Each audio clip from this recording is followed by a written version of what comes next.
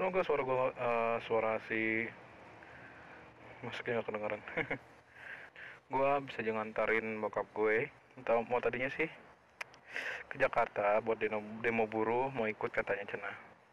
Cuman sekarang ketinggalan kereta cuma sisa tanggal jam 11 sudah habis katanya tiketnya untuk ke Jakarta jadi dia milih untuk demo buruh yang di Bandung jadi sekarang gua hati pulang gua istirahat tadi ke Sikai karena lumayan macet juga sih. Tadi udah bawa dua kamera cuman yang yang Xiaomi yang satunya nggak ke bawah mounting untuk di kepala. Gara-gara gue tadi buru-buru banget kasian bekam gue juga.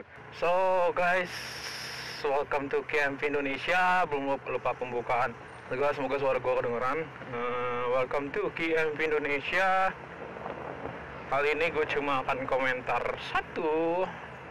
Produk Yamaha terbaru yang launching Yamaha All New Visions R jadi sebagai pengguna dari Visions dan Vision gue adalah Yamaha Old yang 2010 dari perubahannya yang dari Yamaha 2011 terus ke Lightning habis itu ya.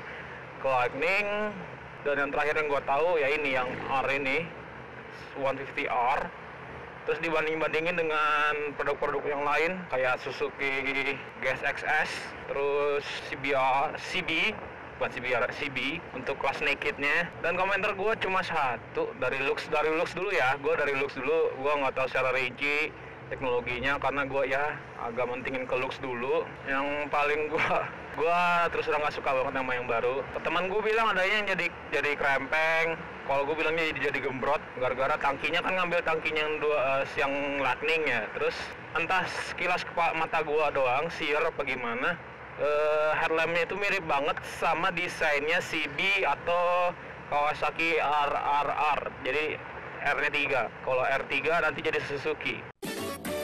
Jadi uh, triple R. Dari desain gue udah mulai nggak suka. Tak kenapa udah bagus. Ke lightning kan ramping-ramping begitu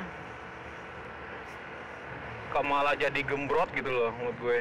Terus lack of the body body parts for protecting the engines jadi kayak bener-bener kosong aja udah.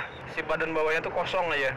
Ya kayak vision gue juga sih dari 10 cuma ada telinganya gitu yang di samping kiri kanannya. Ini gue ganti sekarang di full full fairing. Full fairing bawah. Ya karena itu nggak ada buat proteksi buat mesinnya lagi kalau kena lumpur aduh kotor banget. Dan di mana mana Jakarta Bandung lagi macet. Yang biasanya gue dari rumah gue dari terusan Bawah Batu ke stasiun cuma makan waktu setengah jam. Tadi gue ke makan waktu sebesar sejam. Ya 30 menit ke delay lah. Dan itu sucks sucks banget. Dan gue pakai rute juga bingung mau pulang lewat mana Balik lagi ke topik e, mesinnya. Ada yang bilang di YouTube kalau mesinnya itu adalah mesinnya R15 mesin R15 yang dipakai untuk e, New Vision R. Dan di sini sebenarnya nggak boleh muter pak. Ya mungkin gue dulu ngomong lama-lama sama temen gue ketika R15 launching itu looks like uh, Visions yang di modif ekstrim jadi fairing. Sekarang Visions yang baru oh, menggunakan mesin R15 jadi R15 yang ditelanjangin R15 naked wow. Dan gue mau pamer tankpad yang baru. Sekarang gue nggak perlu bawa apa-apa lagi di badan gue karena uh, sudah ke akomodir semua barang-barang yang gue bawa. Dan kebetulan mereknya Dinomoto Java.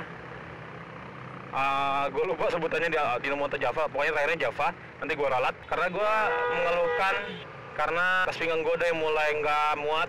Itu udah mulai nggak muat dengan barang-barang yang gue bawa. Itu pertama kali gue beli di Bandung Helmet Expo wah macet ditutup karena banyak mobil ya. Wah helmet expo itu kebanting banget harganya. Ya begitu gua pulang tas pinggang gue yang di gua taruh ke arah pantat itu jadi S bag S bag tas pantat. Aduh si teteh maksain banget sih.